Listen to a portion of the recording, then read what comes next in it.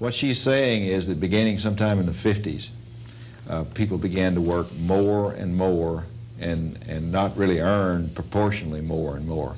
And she says that, that it's reached a point now where there, there are substantial increases in the amount of work that's, that's being done. At, at the time the 86 reform was being paid, there was, there was $6.7 billion being collected from millionaires. That has decreased down to seven-tenths. It has almost disappeared. And it disappeared with, with them knowing full well, lying to us, claiming just the opposite. But they knew that was happening. And so that just shows you that, that you, can, you can be a Democrat or you can be a Republican, but as long as you're in Congress, you're a crook. It was covered in one complete chapter of America What Went Wrong, where it talks about how these corporate raiders and big corporations like uh, Chrysler have looted the pension funds. Essentially, we have the, the upper class in this country, the rich in this country, running it, running it to the detriment of everybody else, and being able, through the media, who are part of the rich class, covering it up, denying that such a thing is taking place, denying that there are classes in this country, denying that, that there is this extreme wealthy, powerful group of people running the country into the ground and running it into the ground in their own benefit. The country is in a precarious economic and political situation. We discuss this with an economic consultant right now on Alternative Views.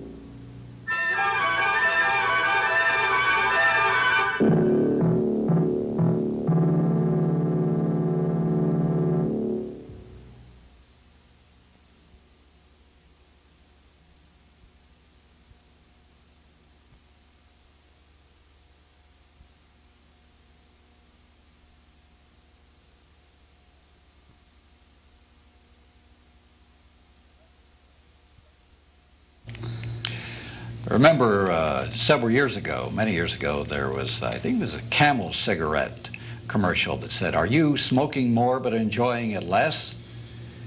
Well, that's just about the way Americans are. We're working more, enjoying life less, and getting less return on it. There have been a lot of books written recently about what has happened to the American economy, what has happened to the American people, and uh, who's done it to the American people. This is something we're going to talk about extensively on Alternative Views. Just what has happened to the American people and why has the economy dipped the way it has, but why have the rich gotten richer and the rest of us poorer? And what's happening to really make Americans overworked and the return much less. We have Jack Hopper with us, who uh, is our uh, economic consultant, and he's read uh, some books, and Doug has read some books, and I've read some books, and hopefully we'll be able to make some sense out of what's happened. Uh, Jack, there, among all these books, which are actually getting a lot of attention nowadays, back in the Reagan years they wouldn't. The one that uh, you've been uh, taking a look at is The Overworked American. Yeah, the overworked American, uh, subtitled "The Unexpected Decline of Leisure" by Juliet Schor, has gotten, it's got a, a, pretty good review in the Wall Street Journal, as a matter of fact. And uh, it is surprising. It, uh, it it also had a review in the, in the New York Times book reviews section too. But the corporate executives must feel overworked as well. Well, it, the the book doesn't deal with with the reverse of this, which is the CEOs are working less and making more these days. But that's that's exactly what's happened. Maybe it's maybe because we're going to find that the union uh, is is a, a factor here. The union has gotten weaker. Uh, but there must be a CEO's union, which obviously has gotten stronger. So it's it's kind of offsetting that. Yeah, the CEO's union is called the system. It's called capitalism, right? The round table, the, the business round table. What is what is the core thought of what uh, Juliet Schor is saying about the overworked American? Well, she's done some research that uh, the, the reviewers seem to agree is is uh, unusual, different, and novel, something that hasn't been done. But what she's saying is that beginning sometime in the 50s, uh, people began to work more and more and and not really earn proportionally more and more. And she says that, that it's reached a point now where there, there are substantial increases in the amount of work that's, that's being done. She says that all American workers are, are uh, subject to this, but uh, she, she documents and, and also says that the real one that's lost here are women. That women are now working uh, 309 hours a year longer than they used to. The average worker is working 160 some odd. The man, the male worker is working about 93 hours. And these are a lot longer hours than, than uh, European workers are working, and they're not making any more for it. There was a big changeover in, uh, I guess, in the 70s, perhaps gradually, more in the 70s and the 80s, really we saw it, and that is that the families had to have two incomes in order to survive. I remember back in the 50s, when I was a young man, I supported a family on 400 a month. And, but now it requires at least two incomes, sometimes three or even four. Well, that, that calls up uh, another book that we're looking at here called America, What Went Wrong, which came out of a, a long series of articles in the Philadelphia Inquirer. And one of the important and interesting points that came out of that was that there were 300,000 lost jobs in manufacturing during the 80s. And what's happened is you're, you're losing the high-paying jobs and you're gaining the low-paying jobs. And that's and women, of course, are always have always been discriminated against as workers. Therefore, the women are the ones having to go into these low-paying jobs, and they can't even make it on on one job. Some of them are, are, are working three jobs in order to make it. In fact, there's another factor here which has to do with the divorce rate and the way this has impacted on women. There's a tremendous amount of single-family parents that happen to be women that are forced to support a family and thus to go out and work as well as take care of, of the family.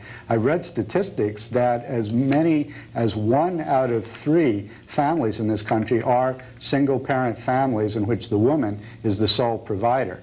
So this, too, has forced uh, women into the workplace. Well, more than, than ever, I think these women are forced to go out and get minimum wage paying jobs.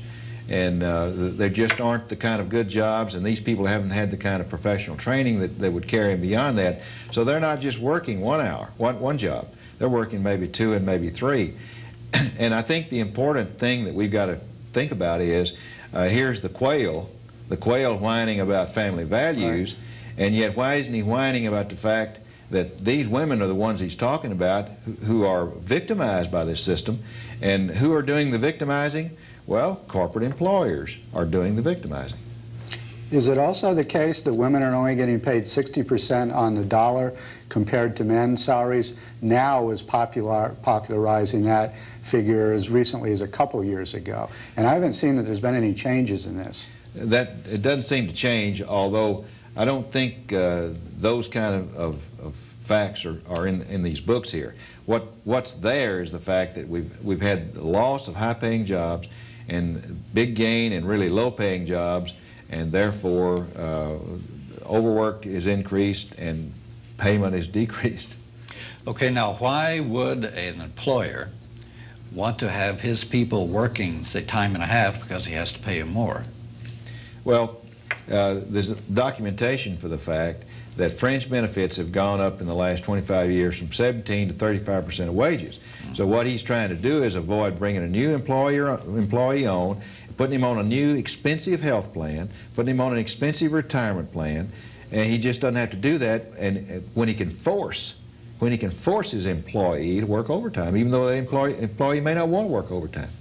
Well, it's gone the other direction in some industries like uh, fast food, where they purposefully only hire a very few full-time employees so that they don't have to pay any of these uh, fringe benefits. Any, any fringe benefit. Yeah. Right. Well, you actually see it in uh, community colleges like here in Austin where they hire almost, uh, well, mainly uh, part-time uh, teachers. They may teach three courses, Or five even. or yeah, but they don't get uh, benefits, and they don't even get they pay you know thousand dollars a course, something like that. Well, It's that- that- less than minimum wage. This, this points out the fact that, that uh, there isn't any freedom to, to choose or not choose overtime, except there, there is some freedom in these low-paying, entry-level, minimum or less minimum wage jobs. There, of course, people can work part-time, but you can't work part-time in a good job because your employer won't let you. He just won't, even though, even though it may make economic sense, even though productivity may be equal or greater, he won't do it. And he doesn't do it because he, he, he doesn't, he just doesn't want that arrangement. Well, Schor also points out that uh, in the Overworked American that the employers and the system don't want to hire a lot of people because that uh, will make the number of unemployed smaller, and you have to have that uh, reserve uh, uh, unemployed army of, of people to be there as a threat to discipline the people who uh, are working and to make them uh, more docile and afraid of losing their own jobs. Well, there is the class conflict. I mean, this, this simply gets down to the fact that the wealthy, the rich, uh, the powerful, economically powerful, are deliberately manipulating the system to suppress the rest of us. And they're suppressing it for their own benefits. And, and of course, uh, this has been taking place for a long time, but there's not many people saying very much about it. Uh, there is that comment in this book that that's happening that full employment is something that they, they avoid like the plague. And it's interesting to note that the one institution all these rich people and all the powerful people want to keep their hands on is the Federal Reserve because the Fed is what keeps unemployment high. And that's what they want. How is High. that? Because they control the money supply, control interest rates, and therefore control the economy. And completely independently of Congress, of anybody else. This is totally controlled by the very small, rich establishment. Yes, people think that it, because of the name Federal Reserve that it's a government agency, but it's actually a private uh, uh, enterprise, as you said, controlled by just a small number of uh, bankers and people in the, in the That- banking That's system. exactly right, and, and of course, they are completely independent of, of uh, any kind of responsibility or any kind of democratic process, and what they do, they want to keep uh, the the bondholders safe, and, but they also want to keep unemployment at a high level so that there's no pressure on wages to go up because of employment problems. Jack, could we talk about the role of uh, unions or the decline of unions in the United States on these uh, facts? In Europe, for instance, where they're heavily unionized in the main European democratic countries, they have less work. The work week has gone down, the average amount of hours per week, and the vacations have gone up. In some European countries, 8 to 10 hours, or I'm sorry, 8 to 10 weeks is a standard uh, vacation, where they often get six or seven weeks straight in the summer off. And this is a result of unions and of contracts that are signed sometimes on a national level, sometimes within uh, industries. To what extent does the decline of unions in the United States impact on the working class, giving them less power and giving the capitalist class more power? Well, there's a discussion in, in the Overworked American about that specifically, and how that trend began to take place back in the, in the late 50s and early 60s. And as unions got weaker and the union busting became uh, the, the prevalent thing to do, then of course the worker lost any kind of, of or he lost a lot of his power and lost a lot of his control. And uh, but there was more than that. The unions also seemed to give up the notion of reducing the work week from 40 hours. There was a time when there was a lot of talk about, hey, we finally got it down to 40 hours, let's go below that. And in, Ger in Germany now, there is a union over there that just arranged a 35-hour work Right. week. And that does two things. It allows these people to have more leisure, but it also puts more people to work. And for some reason, uh, our unions gave that up, and as they got weaker, they, they quit talking about it. But uh, uh, this author, this writer here, polled 300 employers about reducing work time. Not, not below 40 hours, but below the 48 or 50 that's common. And not a single one wanted to do it. They all rejected the idea. So the employers are trying to do two things. Reduce wages, but work the worker to death. And, and uh, Schor goes on to point out that to the extent that women are the ones that are victimized in this process the most, and to the extent that they're away from their children at home, and to the extent that they, they're harassed at home when they do get home, think of all the problems that are, are flowing out of this. Children not learning at school, children, latchkey children uh, out on the streets, the drug problem. These are all flowing from this fact that women are having to work more than, than, than they need to or they want to, and they can't avoid it in order to make enough money to feed their kids, but they can't do all that, that they should do for their kids. And that doesn't even address the fact of the stress factor in all this. The, the uh, mother and the father, if, even if there is a nuclear family, are so much under the gun they're not liable to be very nice people when they get home well, from that's work. right, and the children suffer because of that too. And this is exactly what Dan Quayle is leaving out of the discussion in his talk about family values, as if it's just a question of values as opposed to economic forces that are tearing apart the uh, family. Well, I think Mr. Quayle should have talked about uh, how bad uh, these these effects are on women and how the the, the business roundtable ought to be doing something about it and how maybe they're at fault for it. The, uh, let's go back a little bit historically. We were talking about no countervailing uh, uh, pressure or power in the form of unions. Uh, and you were talking about how the unions have become weak. Actually, the destruction of the more radical unions uh, with the IWW, the Wobblies at the uh, turn of the century and the first decade of the century, and like Knights. The Knights of Labor were busted Yeah. right here in Texas in, in the 1850s by Jay Gould uh, with the railroads. I mean, he, he ruined that union. And by ruining the, the Knights of Labor, he ruined the union movement for another 50 years. And, and therefore, uh, we saw very little change in the long, horrendous working hours of working men until the turn of the century. People don't realize how the 40-hour uh, work is uh, just a fairly recent phenomenon. The, the 1880s, it was common to have 70-hour weeks, uh, seven days a week.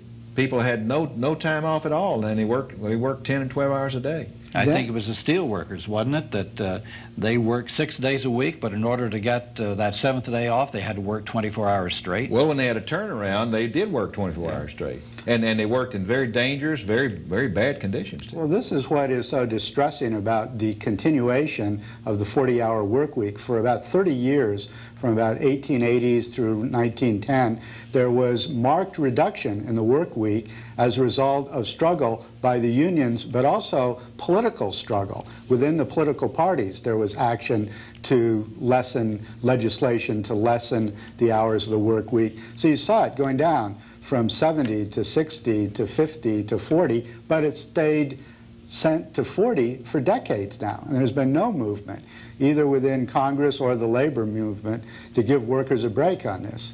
Well, the, the movement down seemed to, to get into ferment during World War II. Uh, it had moved down. The labor movement uh, found a friend in, in the Democratic Party in the 30s and, and uh, developed a little bit of authority, a little bit of, of power during that time, and worked their way down to that 40-hour week. And then during the war, of course, things changed. And I don't think they ever got back to the notion again. I think during the war, I think uh, industry used that as an excuse to press unions. I know they were trying to bust all sorts of labor unions during the war because of strikes. And the result was that the notion of continuing to, de to decrease the working hours seemed to have uh, evaporated as a goal. Jack, there's an interesting observation in uh, a review of this book, The Overworked American, in dollars and cents.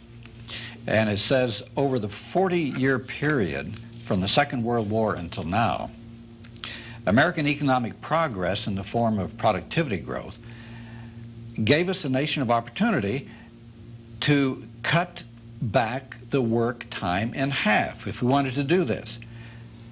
So we can now produce our 1948 standard of living in less than half the time it took back then. So we could have a 20-hour week, or we could have people working uh, one year on and one year off. But if we look at the 70 or 80 years before 40, 1948, there's a dramatic decline in working hours. But anyway, their point is that the production has increased, the technology has increased and all, so that we could have the same standard of living, which was okay back in 1948, if we wanted to. But people may or may not have the choice to uh, use this and do it this way. Well, Schor makes the point that they didn't have the choice, but there's something else added into this that we haven't talked about, and it is that we developed, industry has developed this advertising business and the consumerism business and the high debt kind of thing for workers to the point where workers get trapped. Uh, Schor calls it a, a, a treadmill. And they get on the treadmill of spending, and, and they've got to work to pay their debts. And so uh, they've, they've got into this notion of consume, consume, shop till you drop. That kind of business has been foisted on us by these same employers because through the, through the advertising process, they have, have, have created these wants that people have so that even if people would like to, and evidence shows that they would like to work less, they can't because they've got bills to pay, they've got things, responsibilities, and so they, they're forced to stay on this, this treadmill just like a squirrel.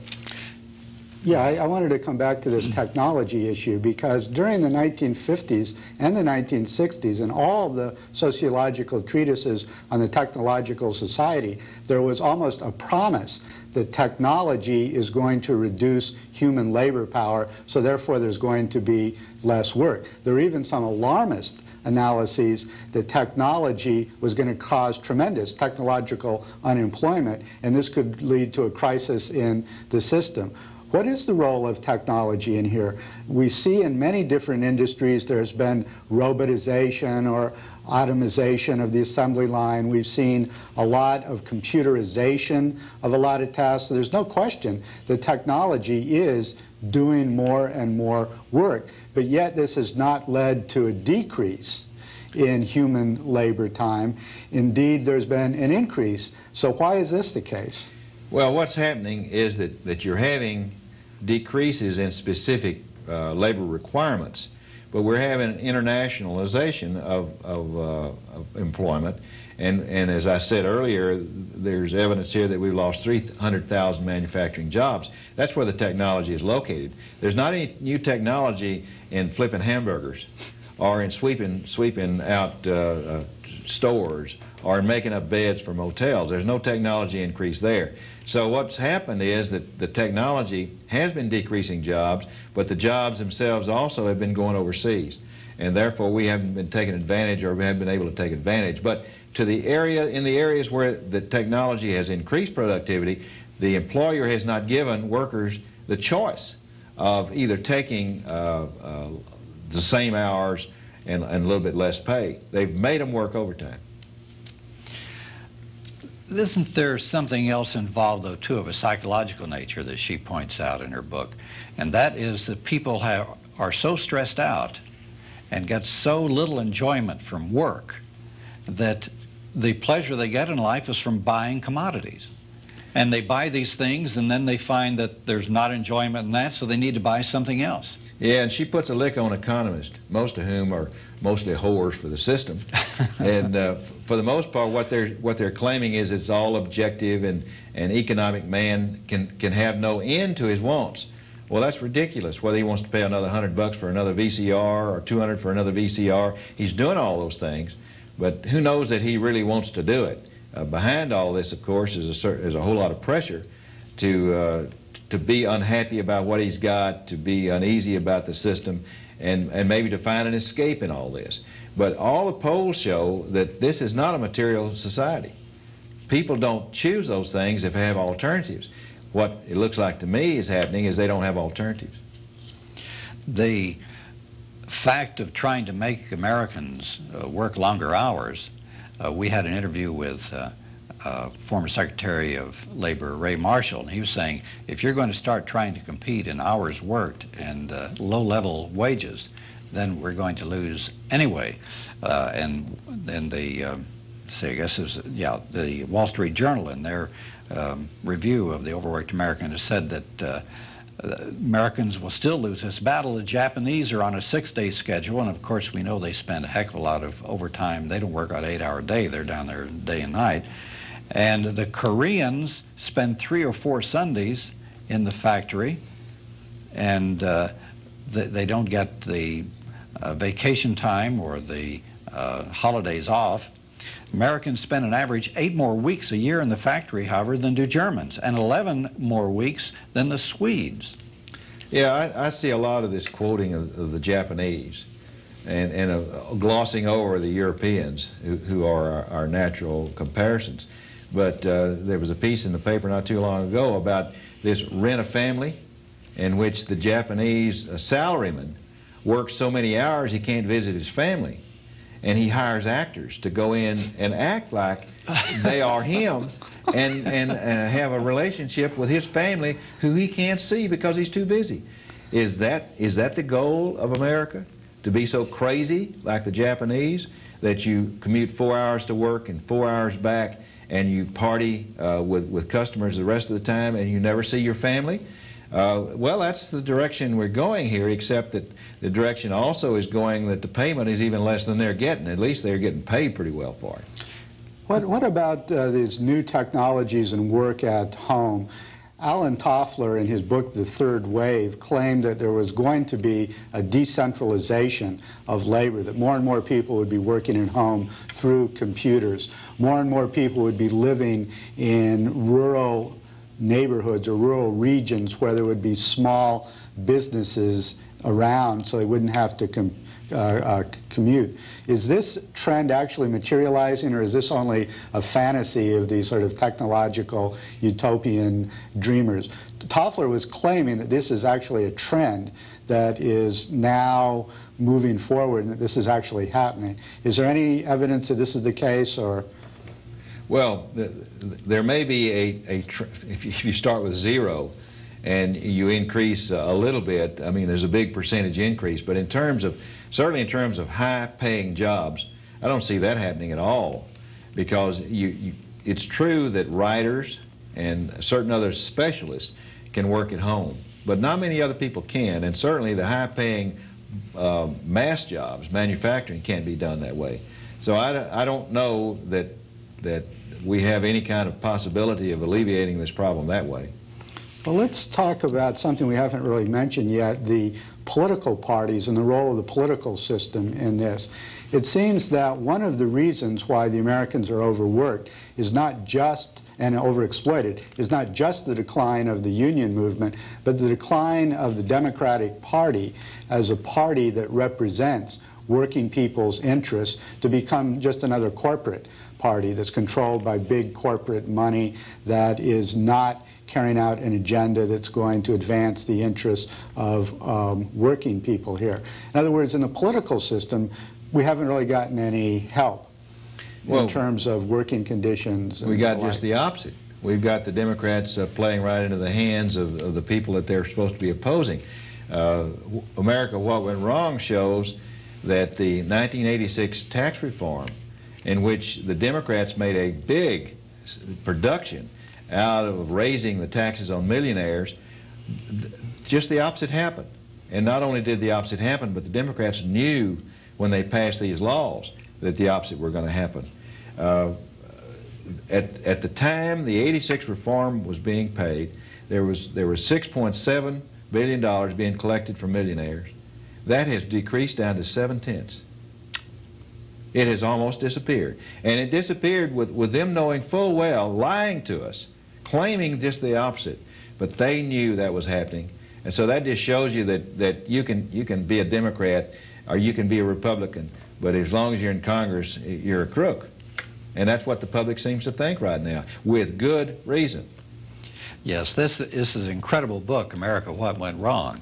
And I would suggest everybody read it. It'll make you mad, uh, but along with the, the companion book here of Juliet Schor, you can really get a quick idea of what has been happening to you and I and the country, uh, not just after with Reagan, although it accelerated uh, under Reagan. It actually started under Carter and maybe a little before.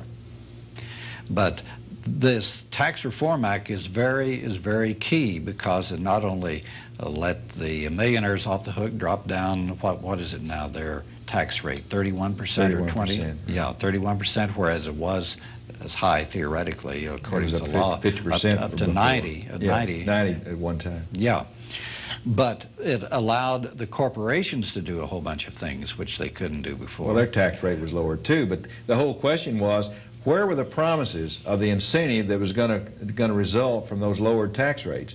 Well, that was all a lie. I mean, it was it was just all a lie.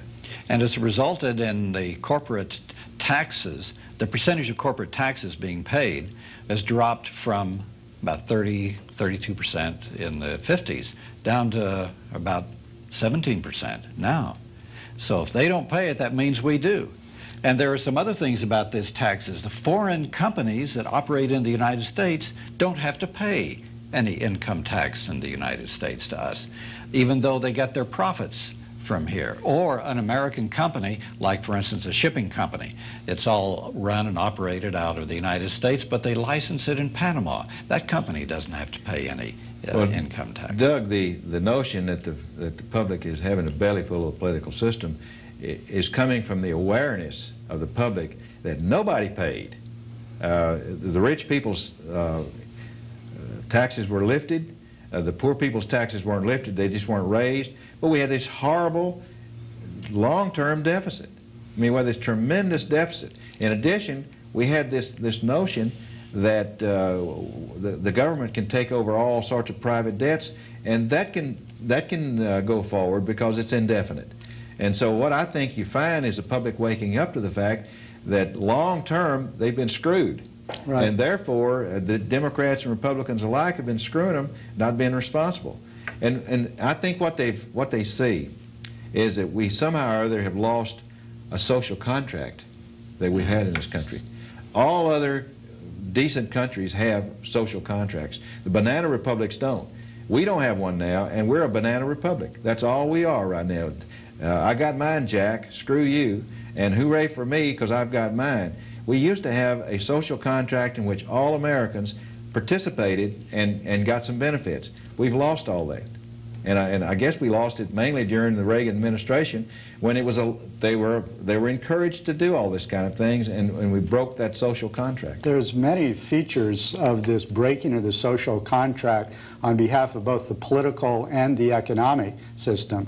For instance, in the economic system, you have corporations who systematically fire people that reach a certain level simply so they don't have to pay the unemployment, not the unemployment, but the retirement benefits. They have to pay a certain amount of more money after the employees have been in a certain amount of years, so they fire them before that time comes. Or they shut down the plant in Detroit or in Boston and they move it to Manila or to the border of Mexico to get cheap uh, labor. So people that thought they had lifetime employment as well as a guaranteed economic future have found out that they don't because these corporations are simply interested in the bottom line and will thus do anything to increase profit at the expense of their employers. And, and those are the corporations that haven't been merged or went out of business. The ones that merged and went out of business had the raiders, the Wall Street crooks, taking over those pension funds, raiding those pension funds, recasting those pension funds, and, and setting up annuities with busted insurance companies. So that, that the poor people that didn't stay with the company, now some of those, those companies uh, have recently, uh, in, in court actions, been found uh, guilty of firing these people at, at right before they got to their 20 years. But, but even there, there are, are those people that, that still have some pensions. But then there are the others where the pension uh, arrangements have just sort of disappeared.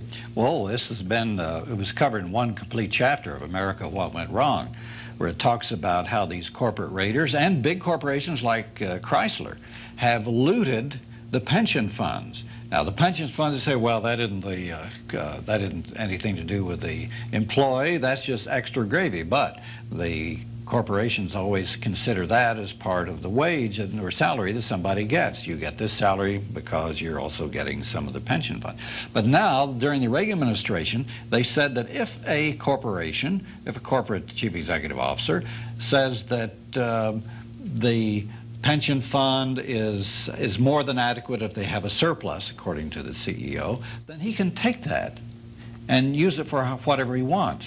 And he may even set up an annuity, which is not guaranteed by anything and also gives the workers a lot less. So you have these corporate raiders as well as established corporations, looting the uh, funds, the pension fund, and then buying other corporations with it, speculating in, in junk bonds and all this type of thing, or lining their own pockets, so that the workers, after spending their whole lives to these companies, they may they have nothing, or maybe maybe here here's two hundred fifty dollars, or maybe a thousand dollars.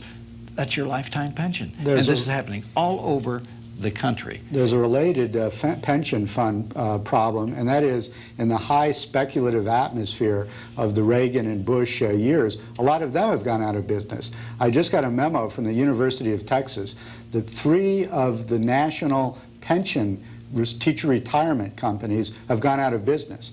And these are not federally insured. In the state of Texas, your unemployment benefits are insured, but only up to $100,000.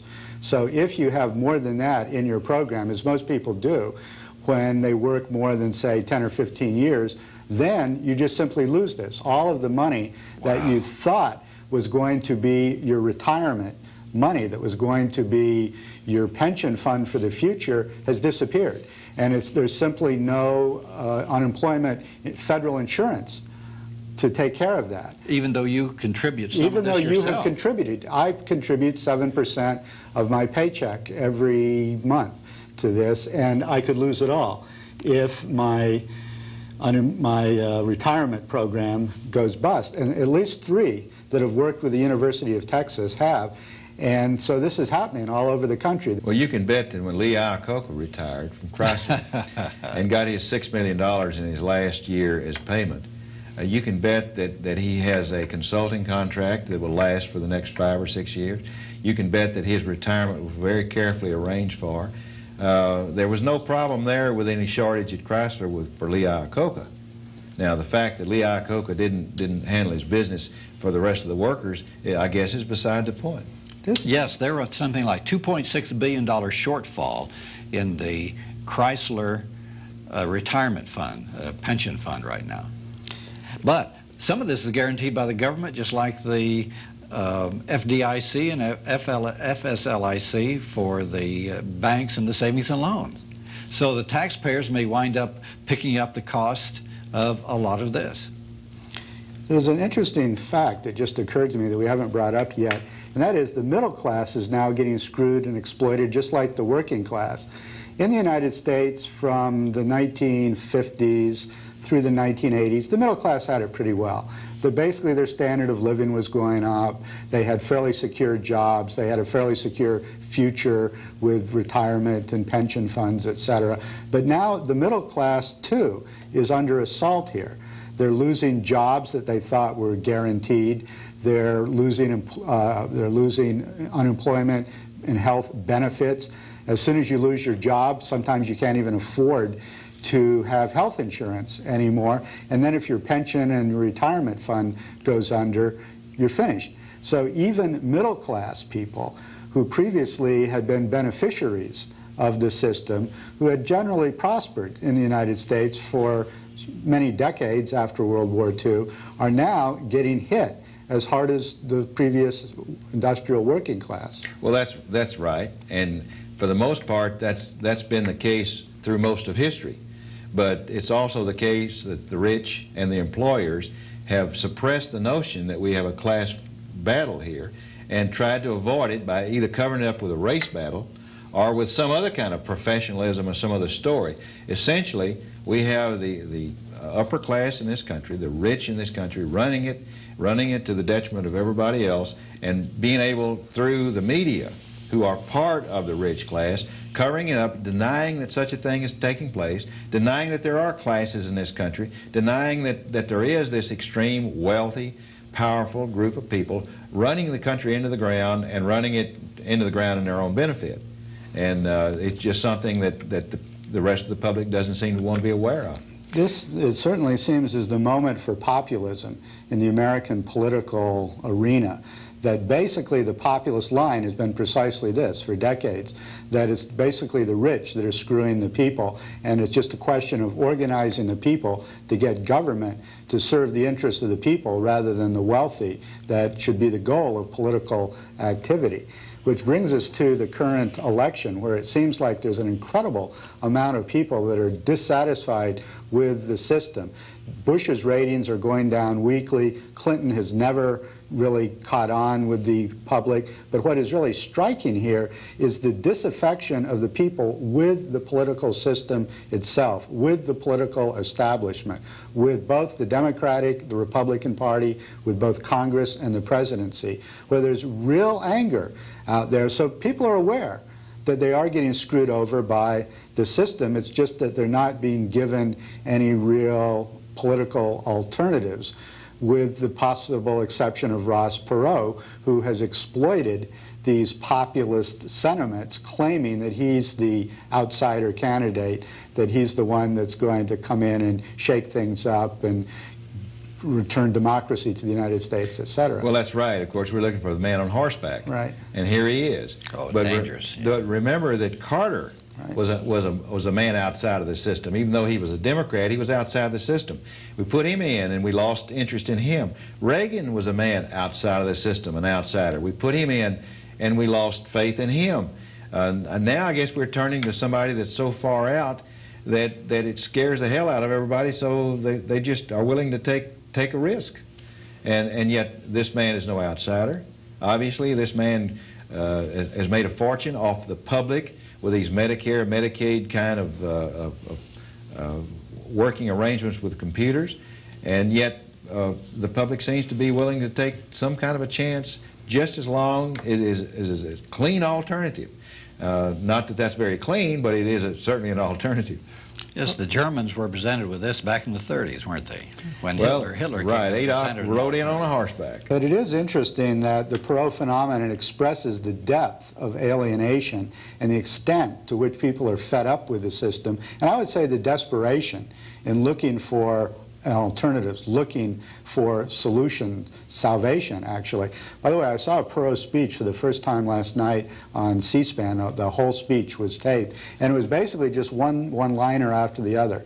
He obviously had a very good speechwriter. And they're all promises, too. Zingers. They, they were all criticisms of what was wrong and then sort of vague promises without any substance uh, whatsoever. So the tragedy of the present moment, it seems to me, is that there's not a genuine populist movement in the United States that really represents the interests of the people and really has a program to do something to serve the interests of the people and to change the power structure of this country because obviously the moment is ripe for change. Obviously people want change and I think people see that things are profoundly wrong with this country, with the system, and they're looking for change.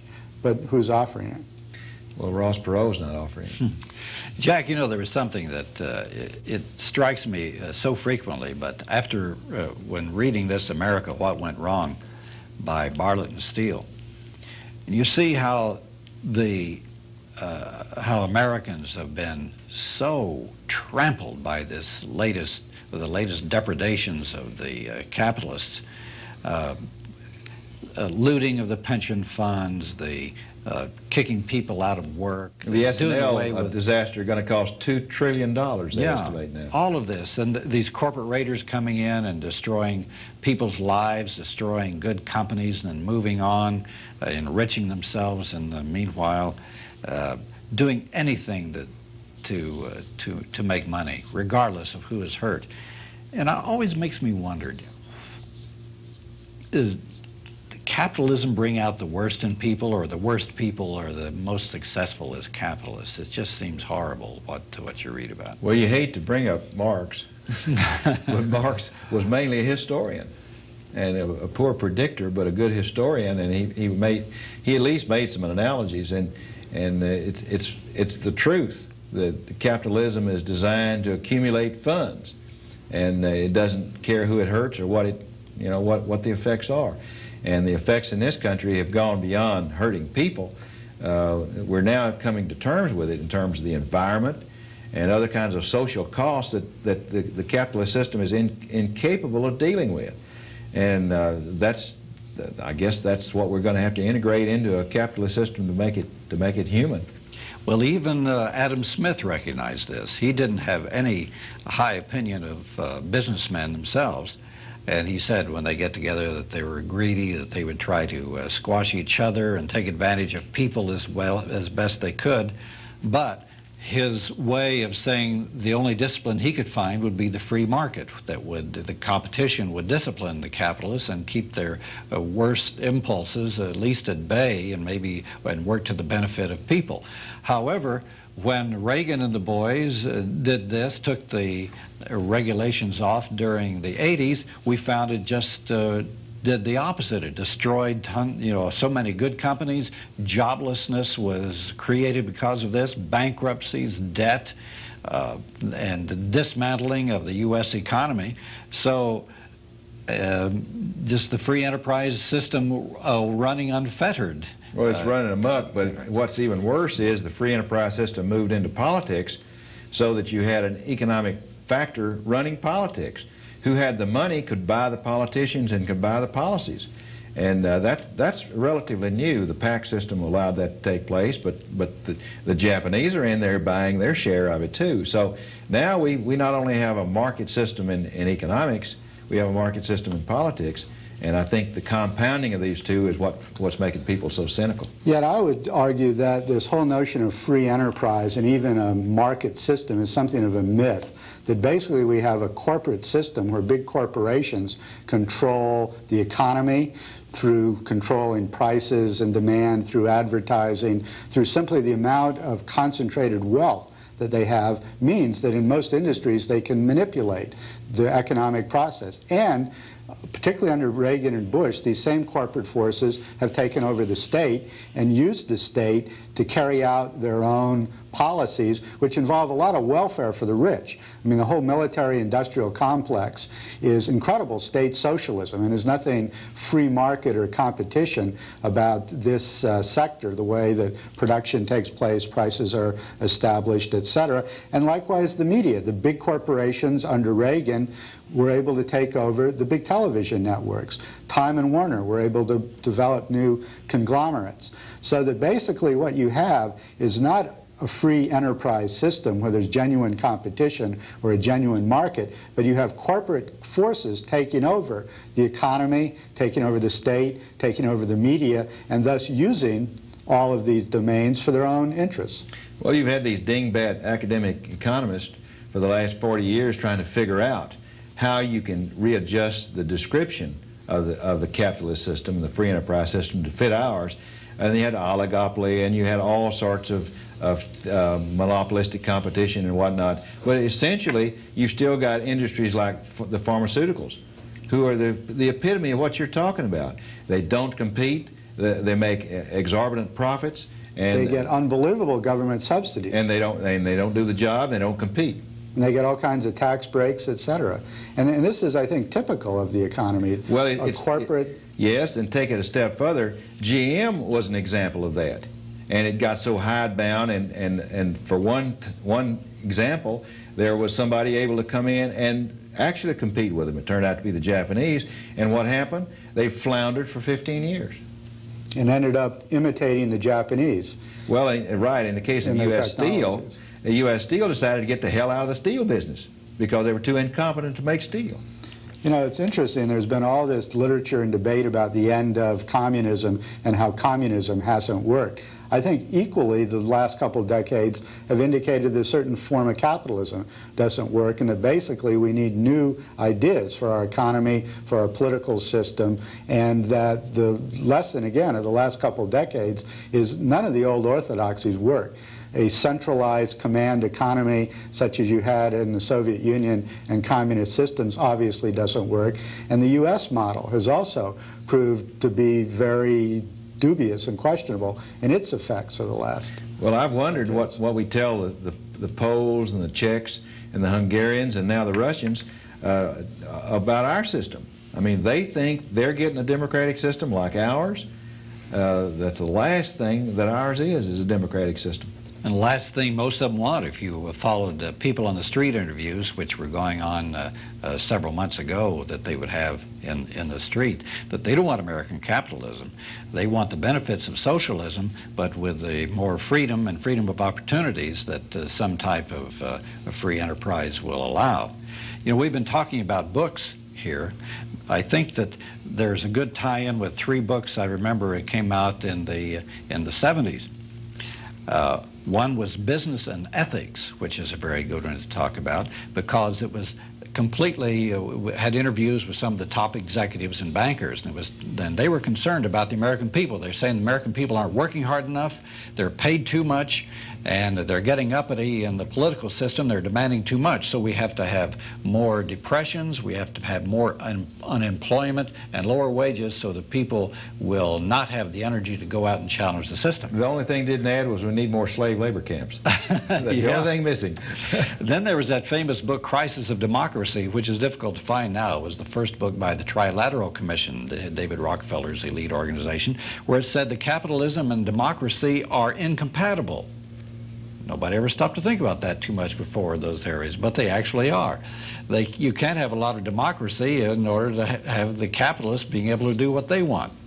So they said we have to have less democratic participation. We have to have uh, less media coverage of what we were doing because they recognized and they're scared to death of the American people because American people were very violent. And so they recognized that the labor unions uh, could have caused a lot of trouble, uh, causing trouble in the uh, Great Depression. They were afraid that they would lose control of the system, the capitalists were. And then they were also afraid of the labor movement back in the late 1800s, early 1900s. They were afraid of the peace movement. They were afraid of the civil rights movement. So they had to devise some additional controls to keep the uh, Americans from becoming activists again.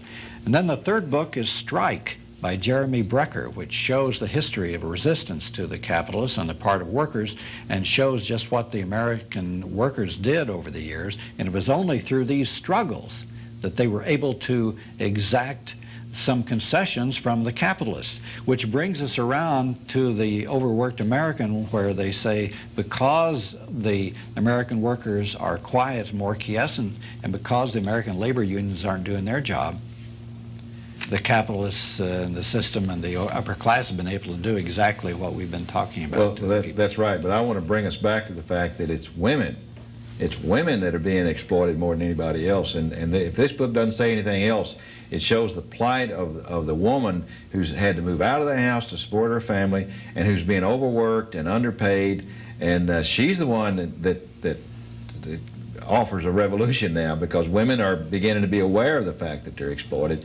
But I think uh, this is an example of, of the fact that, that, that the changes in women's circumstances isn't very well known. But this book ought to help help people know Well, about women seem to know about this because they're becoming much more active politically. In California, for instance, there's two women that are running for state uh, senator out there, or for the senator of the United States out there, and who are doing a tremendous job in mobilizing women who are fed up with the system, who are also underrepresented politically. I mean, this came out clearly in the Clarence Thomas hearings, where you had a state uh, federal judiciary committee that was dealing with the issue of sexual harassment. Was all men who obviously couldn't really have any feeling or experience in this um, regard.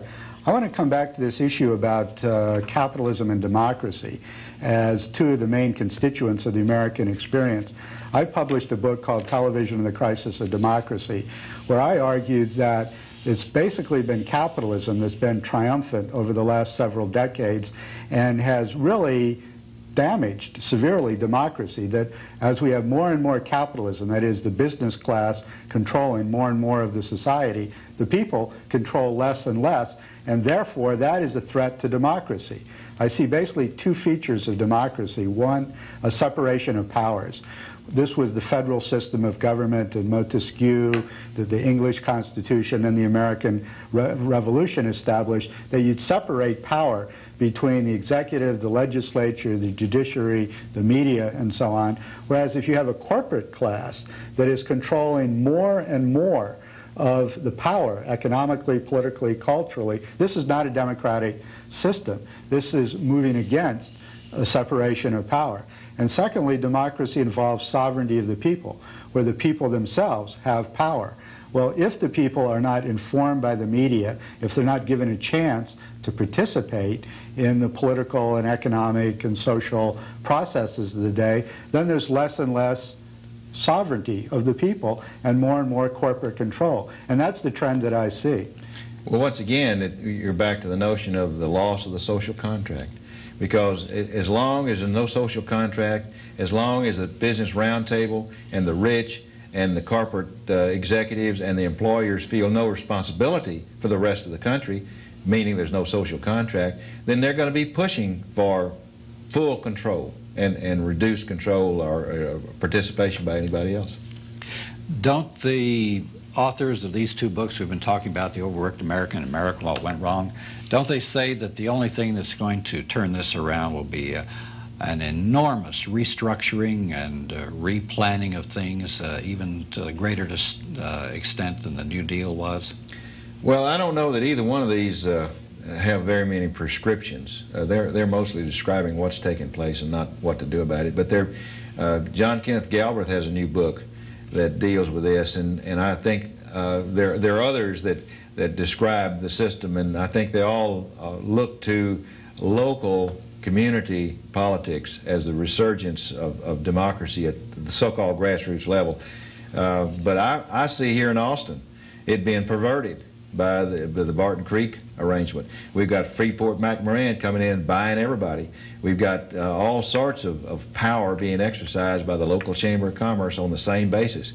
Uh, it's true that they don't they don't have it alone, but if you look at the, the nuclear process we went through for the last 10 or 15 years, we had opposition to that, and they lost, and the establishment won, and they were wrong, and uh, they, they never have to pay the price for being wrong. Uh, So it looks like a lot of these people are giving up at the national level, only concentrating at the local level. I see a lot of that in people when I hear speeches or discussions or books. They're just turning the playing field, the national playing field over to them and say, okay, let them have it. Well, no, they're turning them over to people like Ross Perot. Oh. That's what's happening. what they're saying is that I don't like the political system, I'm not political, but I want an answer, and I want a man on horseback. That's dangerous. And that's Alternative Views for this time. I'd like to thank our crew who helped make our program possible. Our director was Brian Lynch, and our camera people were David Holmes and Kim McCargill.